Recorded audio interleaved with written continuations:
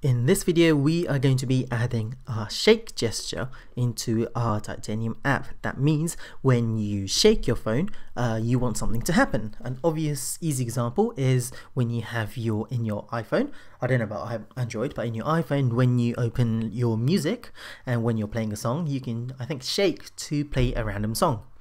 So it's shuffle. So yeah, so you can do all sorts of stuff with, not all sorts, but you can do a couple of interesting stuff with Shake, and we are going to be doing adding that into our uh, app today. So uh, var when equals Ti.ui.create window. I keep on forgetting to write this before starting my tutorial slash video. So yeah, I'm not really going to talk about creating windows because it's obvious and I've been doing it for the past I don't know 40 tutorials or something. And and I am going to create a label as well. So dot ui dot create create label. And inside that the text is going to be shake your phone or shake that. And the width and the height is going to be auto. Okay now, the next thing we're going to do is we're going to be adding our gesture. So we're going to say titanium or Ti dot gesture dot add event listener. So we are going to be listening to a gesture and we want some code to execute when that happens. So the gesture we're going to be listening to is shake. And for our callback function, we are going to, oops, say uh, label.text you shook your phone. Just so that we uh, it's just an easy way to see that the shaking has already actually worked. Because if it did work it's going to change the text. If it didn't it's not going to change the text. So yeah. Last thing we're going to do is just quickly add our label and open our window. So yeah. Really simple. I think my past three four videos being have been under like 20 lines or 25 lines. This is only 17.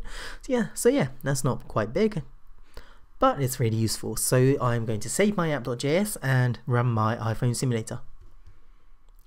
Okay, so my app has loaded and we have a text that says shake that.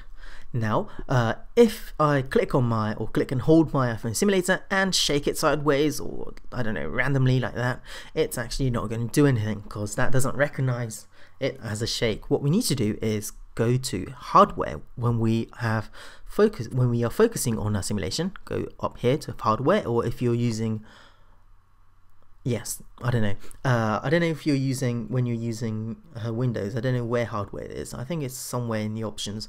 But yeah, if you go to hardware, you won't be able to see the hardware uh, option here itself because of my uh, screen resolution it's I think uh, cut out but if you click on hardware it's going to give you all these uh, options there's the rotates and there's the home and lock and stuff and if you go to shake gesture it's actually going to simulate a shaking gesture so if I click on it it says you shook your phone so if you shake that phone it's going to uh, output or change the text to you shook your phone. So with this uh, iPhone simulator, you'll be able to use the shake gesture to uh, simulate a just a shaking gesture, which is really useful. So if you want to create, I don't know, an app that randomly displays a photo inside your photo library when you shake your phone.